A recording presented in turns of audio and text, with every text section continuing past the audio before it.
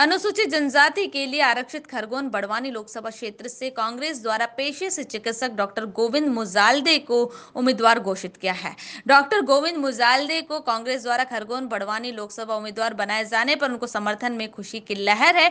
Doctor Mujalde हाल ही में हुए विधानसभा चुनाव से ही सक्रिय राजनीति के मैदान में उतरे हैं।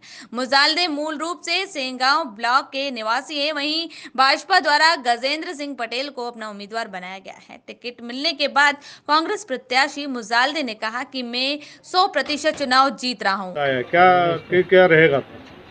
हमारा कांग्रेस पार्टी ने जो विश्वास जताया है स्वाभाविक कांग्रेस पार्टी ने जो एजेंडा बनाया है घोषणा पत्र उनको हुबू लागू करवाना और मेरी विशेष प्राथमिकता रहेगी स्वास्थ्य में शिक्षा में किसानों का गरीबी का और जो युवक हैं उनके रोज़गार का ये हमारी सब सर्वोच्च प्राथमिकता महिलाओं का ये हमारी सर्वोच्च प्राथमिकता रहेगी।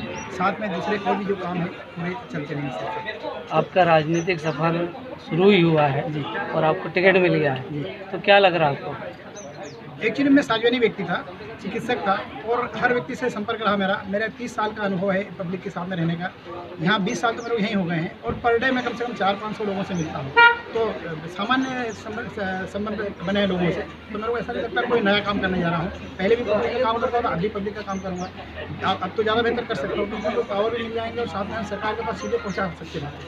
पारंपरिक सीट रही है बीजेपी की दो बार से बीजेपी कैंडिडेट जीता है। आप उसे चुनौती नहीं मानते जिस पर आपको वो चुनौती सामना करना पड़ेगा? हमारे लिए कोई बड़ी बात नहीं है ये हम लाखों की इसमें ऑटो जीत के बताएँगे कोई प्रॉब्लम नहीं। जैसे आप डॉक्टर भी पैसे से लेकिन इसीलिए स्तर तक जो इसकी चिकित्सा सुविधा नहीं मिल पाती है उसके लिए किस तरह से प्राथमिकताएँ रहेगी? इसको कभी आगे बनते बारीकियाँ हम जानते हैं और जो बारीकियाँ हैं उसके हिसाब से सॉल्यूशन उसका बताएँगे और हमारे जो सरकार को सामने पेश करेंगे।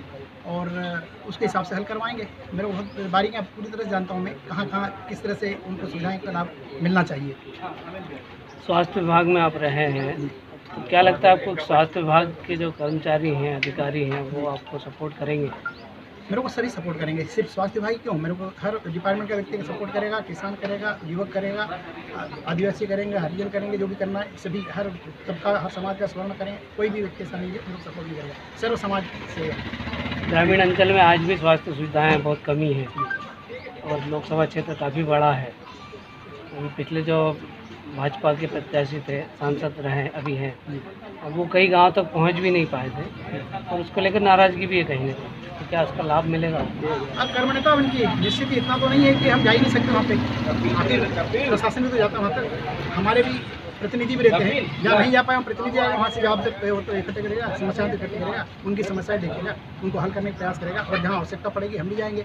और इतना भी बड़ा क्षेत्र रहने कि सांसद पाँच साल में एक भी बार नहीं जा सके। ये तो असंभव है। है ना? तो ये गलत है जो ये पब्लिक को मेरे साथ में ऐसा वो नहीं करना पड़ेगा। अब मैं निश्चित ही हर जगह पहुँचूँगा। किसान किसान किसान कर्ज मामला चल रहा है प्रदेश सरकार जो किसान को कर्ज माफ़ी नहीं कर पाए थे। किस प्रकार वो कर पाएँगे? उसका विरोध भी काफ़ी देखने को मिल रहा है। नहीं हर काम एक साथ नहीं हो सकता ना। खाना खाएँगे तो बेचने वाले ही खाएँगे। वैसे ये भी चरणबद्ध काम हो रहा है। और कितने ही लोगों का पाँच हज़ार करोड़ रुपए का तो लोन माफ़ हो ही चुका है। और ये चरण भाई अहमदाबाद कर्म भाई क्रम हो रहा है सबका? और हो जाएगा सौ परसेंट हो जाएगा सब। तो पब्लिक को क्या करना है? किसान को कुछ अलग से भरना नहीं है। वो तो चुनाव आचार संहिता खत्म हुई उसके बाद फिर वापस चालू हो जाएगा अपना काम। डॉक्टर साहब एक सवाल था कि इस सीट के लिए बड़े बड़े दिग्गज लाइन में लगे हुए थे। आपका एज ए डॉक्टर बहुत लंबा एक्सपीरियंस है। पॉलिटिकल एक्सपीरियंस जो दिग्गज लोग कभी नहीं मानते थे। आपको अप्रत्याशित रूप से जो यहाँ पर कैंडिडेट बनाया है, इसको लेकर के बहुत बड़ी एक चर्चा बनी हुई है। क्या क्वालिटी आपने देखी है कांग्रेस के हाईकमान ने, जिसमें आपको टिकट मिला? आप खुद क्या मानते हैं? पहली बात तो जो दादार थे दूसरे, कोई इतने बड़े नहीं थे। बाला भाई की बात करें हम तो निश्चित ही उन्हें शुरू से बोल दिया था हमारी कोई इच्छा नहीं है, लेकिन पार्टी यदि बोल रही तो हम पूरा वो बोल रहे हैं। हमारी तरफ़ से कोई आवेदन नहीं दिया है तो वो हमको वो समस्या नहीं है। और परमार जी ज़रूर थे तो उनके समस्या कुछ हो सकता है कि कुछ रही हो। इसके अलावा बाकी कोई जो बड़ा बड़ा चेहरा नहीं था। और जो प्राथमिकता हमारी रहेगी वो सरकार के हिसाब से मतलब उसके हिसाब से करेंगे पार्टी के हिसाब से पूरा। उसको क्रेडिट क्रेडिट देना चाहेंगे आपकी आपको टिकट मिला है। मेरे ख्याल से सभी का सहयोग रहा पूरी तरह से सबका सहयोग रहा एक भी व्यक्ति ऐसा नहीं जिनने सहयोग नहीं किया है।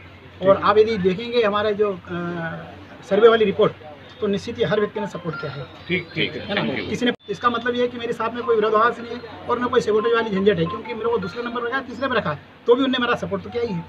तो ये मेरे लिए बहुत बड़ी बात है और निश्चित ही मैं लाखों की फ़ोटोज़ की संख्या दूँगा अच्छा सर एक सवाल है कि आप रेडियोलॉजिस्ट हैं और बहुत ही बारीकी से और जो बहुत ही इंटरनल प्रॉब्लम को यदि कोई सॉर्ट आउट करता है तो वो रेडियोलॉजिस्ट करता है। लास्ट रिपोर्ट उसकी मानी जाती है। अब कांग्रेस में अंदर आप कितनी बड़ी इस रिपोर्ट को देना चाहते हैं या किस तरह की रिपोर्ट को पकड़ेंगे आप? ये तो- सबसे बड़ी माइन्यूट आइज़ जो होती हैं वो हाँ। रेडियोलॉजिस्ट की होती है। मैं मेरी ये सोच ये रही है हमेशा कि समय से और बारीकी से और अच्छा व्यवहारिकता से कोई भी काम करो तो सब कुछ संभव हो जाता है। कांग्रेस में जो समस्या है वो होगी लेकिन मेरे को पब्लिक की समस्या से मतलब है कांग्रेस की समस्या से मतलब नहीं है। और मैं पब्लिक की हर समस्या के तहत तक जाऊँगा और किसी भी कीमत पर उनको हल करने की कोशिश करूँगा जितना संभव हो सके। लंबे समय से कांग्रेस गुटबाजी की शिकार रही है दो दो तीन तीन गुट हैं यहाँ पर। जी। तो क्या लग रहा है आपको सभी गुटों से समर्थन मिलेगा? अभी बताया मैंने जैसे कि मेरे किसी का कोई गुटबाजी मेरे पास आई ही नहीं। मेरे को अरुण भाई ने उतना ही सपोर्ट किया रवि जोशी ने किया, जितना जुमा सोनी की भाभी ने किया, जितना मैडम साधु ने किया बाला भाई बच्चन ने मेरे को शुरू से जिस दिन से मैंने एप्लीकेशन किया तब से बोला कि नहीं, आप ठीक है, ग्यारसी दादा बोलो या चंद्रकांत चंद्रभागा मैडम बोलो या हमारे वीरेंद्र सिंह दरबार बोलो बड़वानी जिला कांग्रेस अध्यक्ष, या फिर तमाम ब्लॉक के अध्यक्ष जैसे हमारे साथ में खड़े हैं, है ना? ये सब लोग हंड्रेड परसेंट मेरे को सपोर्ट मिलेगा पूरा पूरा और किसी ने विरोध किया ही नहीं पहली बात तो। ठीक। राहुल गांधी की न्याय योजना का कितना लाभ मिलेगा कांग्रेस को? ये बहुत बड़ी योजना है और ये ऐसी फेक न्यूज़ नहीं है है ना? कोई फेक घोषणा नहीं है। ये सौ परसेंट होगी है ना? ऐसा ही कोई जुमला नहीं है ये। और इसको हम पूरी तरह से लागू करवाने की भरपूर कोशिश करेंगे और होगी। पक्का कांग्रेस पार्टी!